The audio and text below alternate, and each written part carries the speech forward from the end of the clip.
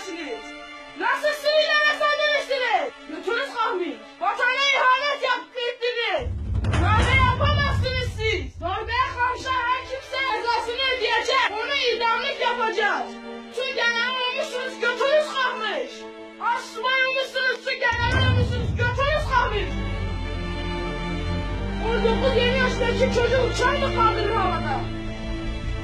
Halk, halktan güzel bir Yaşıyor mudur Sidamlı Yasuara? Götürün sormayın şimdi nasıl biliriz